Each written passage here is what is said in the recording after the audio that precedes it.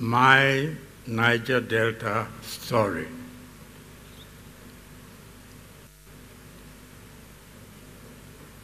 This is the simple story of my search for identity through history. I now discover that my initial preparation was accomplished by my grandmother, Tuamine, in the little village of Iwama, lying between Okpoma and Twon on Brass Island in the estuary of the Brass River, Rio Bento to the first Portuguese visitors. My grandmother, an expert masseur and herbalist, taught me the art of the story and the culture of identity within the story.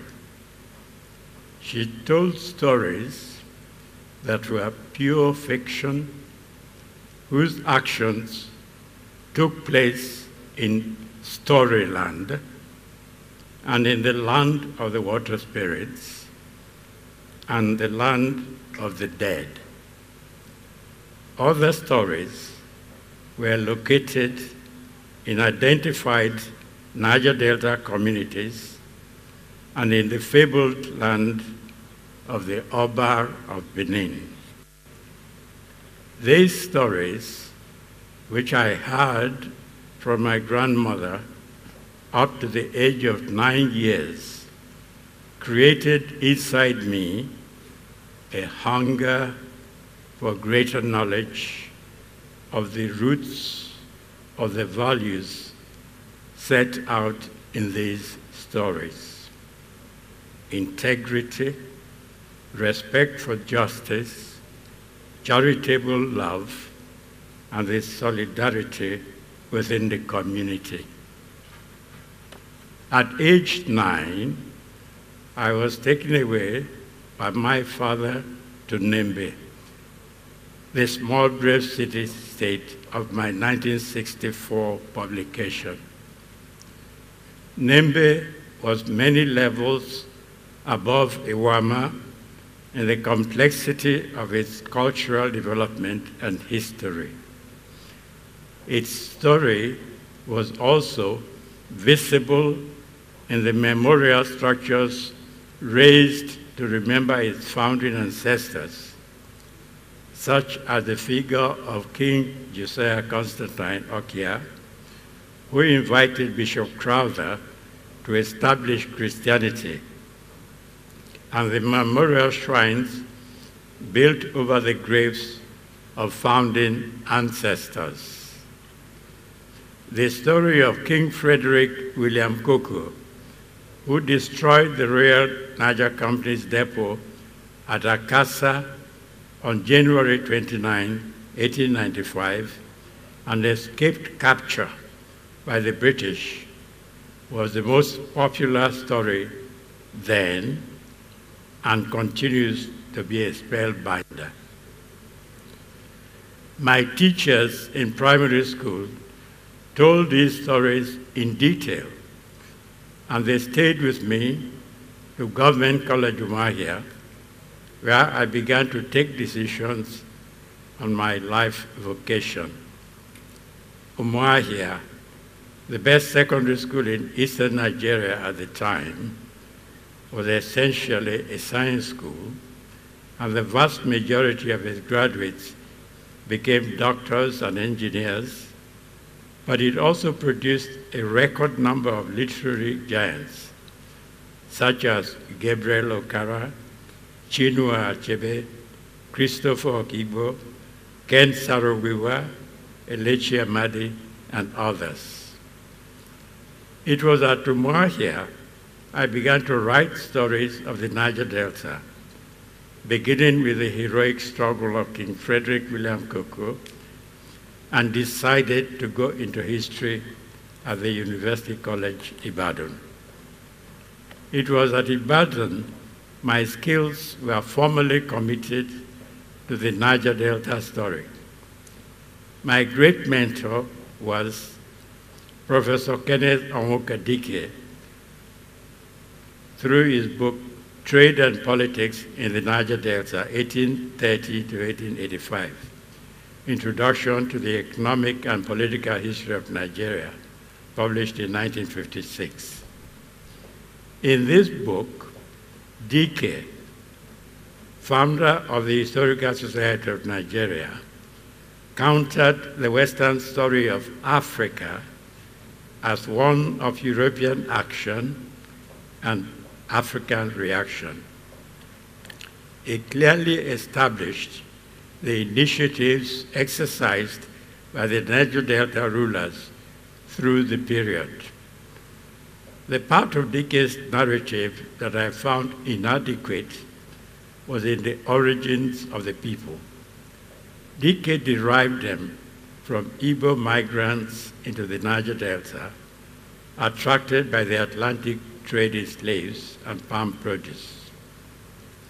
As a master historian, he conceded that his conclusions were tentative and required deeper research to validate or correct them. Indeed, I found Dike my greatest mentor and inspiration. It was he who took me into the National Archives of Nigeria at my graduation from Ibadan in 1959 and as director of the National Archives to send me to the University of Wisconsin, Madison, Wisconsin, where my book, The Small Brave City State, was published in 1964, moving my Niger Delta story out of Iwama to the level of the sovereign states of the eastern Niger Delta. Relocation to Madison meant entry into the orbit of Professor Jan Vansina at the point of his international recognition as a leader in the use of oral traditions. Fortunately, he found the manuscript of my book, The Small Brave City State, publishable as a master's degree equivalent. From then on, Jan Vansina became my principal academic mentor and friend. Where my American and European course mates had to contend with questions of the validity of oral traditions as legitimate sources for telling the story of communities, my problem was rather how best to get the story out of the oral data. Accordingly, my progress through the Madison program was much faster than my colleagues, and I moved swiftly beyond the story of a single Niger Delta community to the combined integrated story of the Niger Delta region as a whole. After my formal doctorate at Wisconsin, I returned to the Institute of African Studies, University of Ibadan, to continue field research in the western Niger Delta, to issue my story of the Niger Delta as a whole in the book A History of the Niger Delta an interpretation of Ijaw oral tradition, published in 1972. A popular version of this story was issued in 2009 with the publication of The Izon of the Niger Delta, co-edited by me, Professor T.N. Tamuno, and J.P. Clark. This book took the Izon through the whole of Nigeria, wherever they were located in significant numbers, and through Africa into the diaspora in Europe, the Americas, and the Caribbean. For me, the search for origins was already concluded in my 1995 publication the practice of history in Africa. Since Africa as a continent was already accepted as the cradle of humanity, the search for origins ends with a link to the continent. The concluding moral of my Niger Delta story identifies me as a Nembe man, proud of his heritage, rooted in its relations to other communities of the Niger Delta. Nembe tradition states that nobody came out of the ground as a crab, that the man or woman who is ignorant of his or her origins is not credibly human.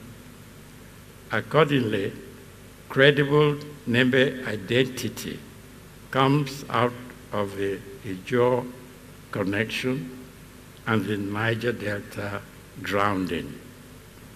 My search for the Izon story led me to many libraries, archives, and academies.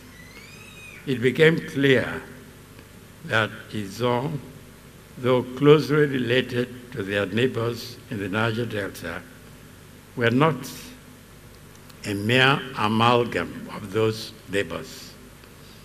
The language studies of my colleague from Ibadan to Port the late Professor K. Williamson, confirmed this for me. The antiquity of his own settlement in the Niger Delta was also confirmed by its own oral traditions and the archaeological excavations that I managed to get done at various locations in the Niger Delta.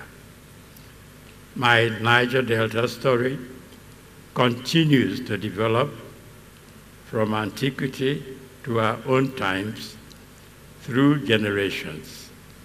My Nembe people say, a man or a woman without knowledge of his or her home will trample and walk over hallowed graves and sacred grounds. The Ikwerre people of River State say the native son, with knowledge of the story of his ancestry, has the eyes of a python. I feel privileged to live to a ripe old age, to be able to call the attention of our youth to the Niger Delta story. I urge the youth to take possession of this story and reframe it for their use. Thank you.